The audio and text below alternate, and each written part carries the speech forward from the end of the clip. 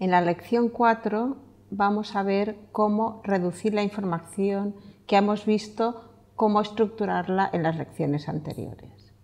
Dentro de las medidas de reducción tenemos por una parte medidas de posición de tendencia central, en donde podemos, podemos encontrar la media aritmética, geométrica y armónica, mediana y moda. En la lección 5 vamos a estudiar con más detalle la media aritmética. Dentro de las medidas de tendencia no central tendríamos los cuantiles.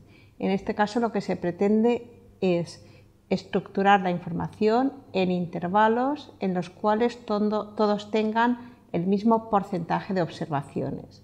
Así, en el caso de cuartiles, cada intervalo va a contener una cuarta parte, un 25% del total de las observaciones.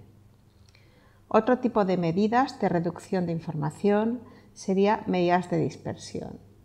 Dentro de medidas de dispersión tenemos medidas de dispersión absoluta, estando en primer lugar el recorrido.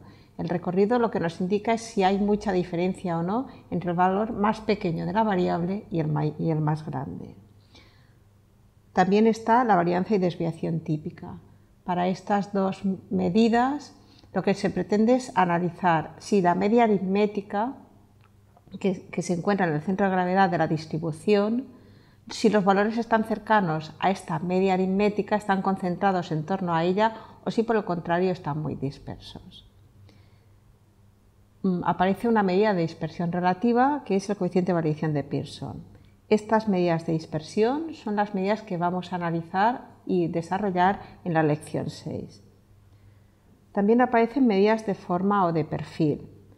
En este caso, previamente se debe de dibujar la distribución de frecuencias. Generalmente se suele hacer mediante el diagrama de barras. Y la primera medida de forma sería la simetría, es decir, si los valores de la variable con respecto a la media aritmética se encuentran simétricamente distribuidos o no. Respecto al coeficiente de kurtosis, lo que se pretende es saber si los valores de la variable están bastante agrupados en torno a la media, hay mucha concentración Em, alrededor de la media o si por el contrario aparece mucha dispersión, más dispersión. Las últimas medidas serían medidas de concentración o de desigualdad.